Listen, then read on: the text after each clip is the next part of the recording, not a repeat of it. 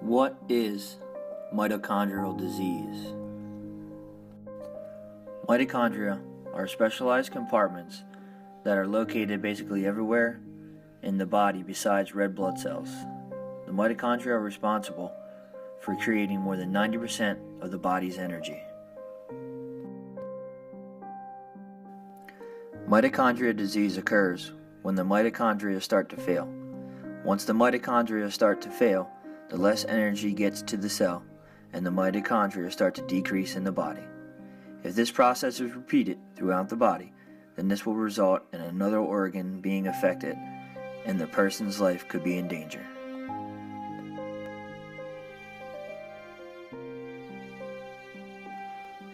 About 1 in 2,000 children in the United States will develop mitochondrial disease by the age of 10 years old. 1,000 to 4,000 children per year in the United States are born with the type of mitochondrial disease. Hey, there was a baptism. Oh, congratulations. Thank you. Thank you.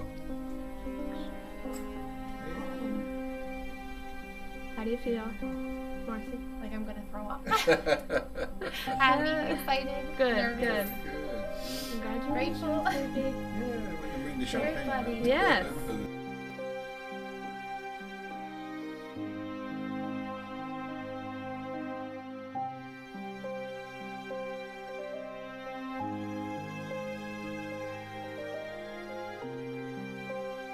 Mate drinker.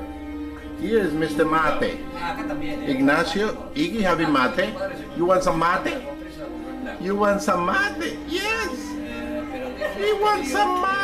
There you go. Here's a gaucho. He's another gaucho. There he goes. This is the Wilmington gaucho. you're, you're supposed to, to chew it. He's chewing the bombilla. You're chewing the bombilla.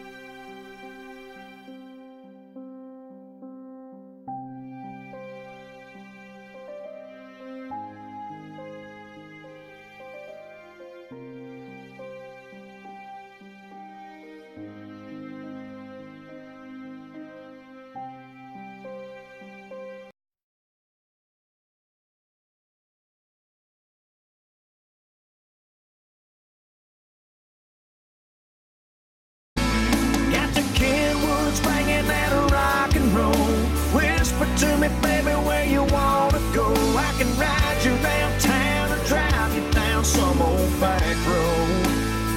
I love the way you lean that seat back, still my ball cap, pull it down over your blue eyes, watching your hair fly out the window, just letting the night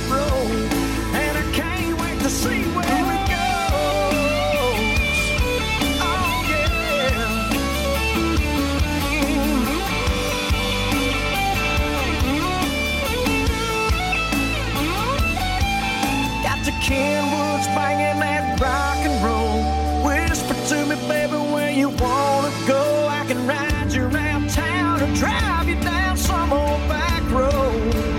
Yeah, I love the way you lean that seat back, still my ball cap, pull it down over your blue eyes, watching your hair fly out the window, just letting the night roll. And I can't wait to see where it goes.